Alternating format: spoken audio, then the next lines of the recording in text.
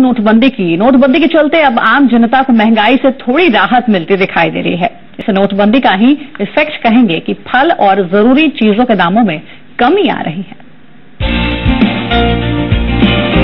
नोटबंदी क्या हुई? मानो आम लोगों को महँगाई से अब राहत मिलने लगी है।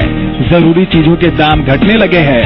सब्ज़ी से लेकर फल तक, सब चीज़ों के दाम अब कम हो गए हैं। नोटबंदी के बाद किन चीज़ों पर असर पड़ा है उसकी पड़ताल करने हम निकले हैं। सब्ज़ी मंडी में है इस वक्त हम लोग और जानने की ये कोशिश कर रहे हैं कि आखिर नोटबंदी के बाद सब्ज़ी के दामों में क्या असर पड़ा है? महँगाई से मिल रहे राहत से आम लोग भी खुश हैं क्योंकि उन्हें उतने ही पैसे में ज़्यादा चीज़ें मिल रही है।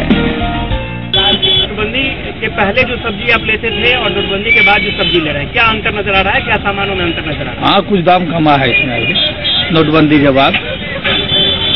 मानते हैं कि कुछ महँगाई में हाँ हाँ महँगाई घट रहा है। देखिए डिमोनेटाइजेशन के बाद एक प्राइस करेक्शन हो रहा है।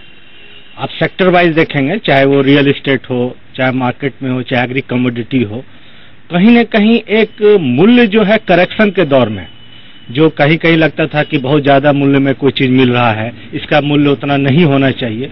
तो बहुत सारे चीज़ों में इन चालीसों दिन, चालीस दिन में हम लोग ऑब्ज़र्व कर रहे हैं कि करेक्शन की तरफ़ है।